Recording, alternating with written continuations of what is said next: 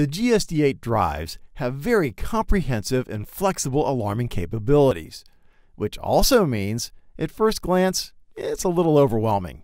So let's break it down. Alarm 1 is dedicated to the Form C relay on the drive terminal strip and uses parameters 50 through 67. Alarm 2 can be routed to any of the three option card slots on the drive and can do all the same things that Alarm 1 can do and is set up with parameters 70 through 87. So in this video, we'll focus on Alarm 1, knowing that we can do the exact same things using the Alarm 2 parameters.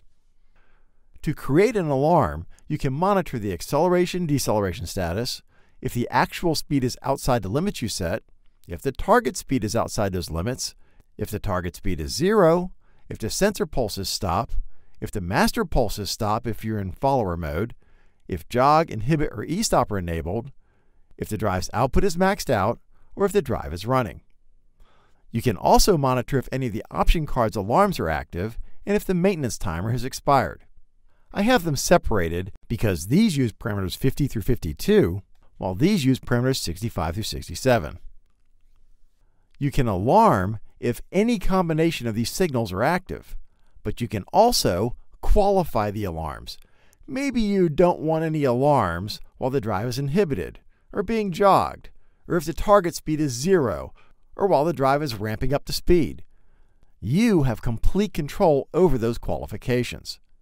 And there's lots of other cool things you can do with alarms, so let's do a simple example so we can see how all of this fits together. I'm using the same hardware that we used in the other videos, where we have this drive controlling this motor, which is connected to this encoder, which is wired back to the drive. We also have the same inhibit and jog switch wired into the drive, and I added an indicator to show us the status of the relay output. Let's suppose we want to alarm if the target speed the user enters exceeds our alarm limits, if the actual speed exceeds our alarm limits, or if we lose encoder pulses. But we only want to see alarms if we're not ramping up or down, the inhibit switch is not active, the target speed is not zero, or if we're not jogging. Here are the parameters we're going to use. Let's take them one at a time. First, Let's reset the drive to factory default so we're all starting from the same place. Go to parameter 95, enter a 5, up arrow to confirm.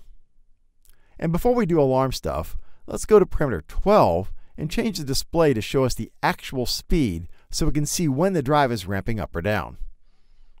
Okay, we need to go to parameter 50 to select what we want alarm 1 to go active on. The user manual has a chart that tells us what each alarm value is. We want to alarm on these, so we just sum those values and put that number in parameter 50. You might recognize that these values are just setting binary bits in a word. Parameters 51 and 52 choose under what conditions we don't want to alarm. We go back to the table, and we only want to alarm if these guys aren't active. Sum that value and put that number here to enable those, and here to invert them, because we only want to alarm if they aren't active. If you want to alarm if something is active, then don't invert that one, which means you just don't add his number to the sum for the invert parameter. Parameter 53 is the style and reset mode. Let's start with just a constant alarm and have it automatically reset when the alarm condition goes away, which is the default, so we're good to go here. With parameter 54, you can allow the alarm to be silenced or not, and if the reset comes from S2 or the enter key. The default is no silencing and reset on the enter key. So we'll use that one for the first example. In parameter 55, let's enable the front panel LED for alarm 1, so this guy will blink when we have an alarm. Parameters 56, 57, and 58 are for pulsed outputs, but we chose a constant output, so we can skip those.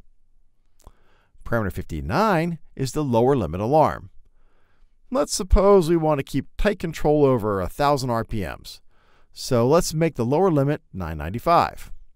And parameter 60 is the upper limit, so let's make that 1005 RPM. So anything outside that range should give us an alarm if we aren't ramping up to speed, at zero speed, inhibited, or jogging. Terminal S2 defaults to jog, so we don't need to change that. So let's go to parameter 36 and change the jog speed to 1250 RPM, which is outside our alarm limit, so we can test that jog doesn't generate an alarm. Parameters 65, 66, and 67 are identical to 50, 51, and 52, except they add more things to monitor.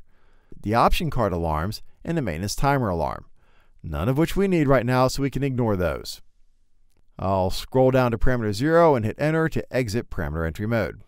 Okay, let's try it. If I start to scroll up to 1000 RPM, we don't get an alarm because we're accelerating. But if we stop before getting there, sure enough, alarm 1 goes active.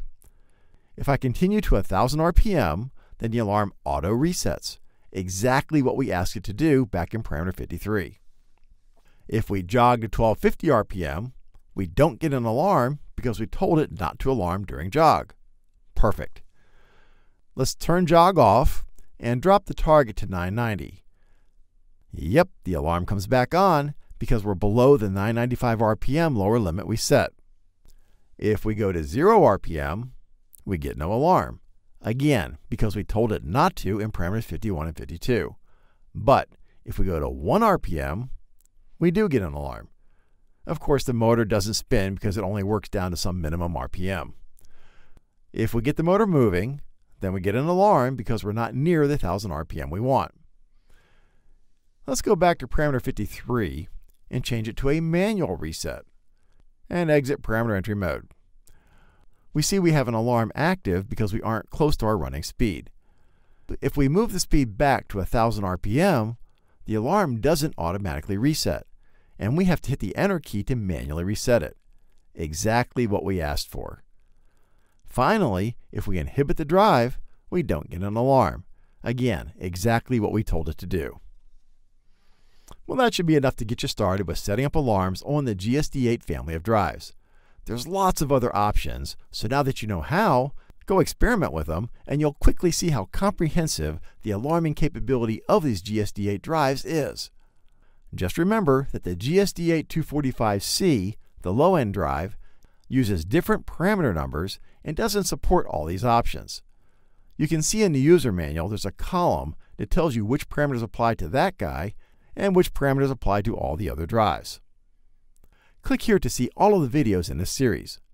Click here to subscribe to our YouTube channel so you'll be notified when we publish new automation videos, and click here to learn about our free tech support options.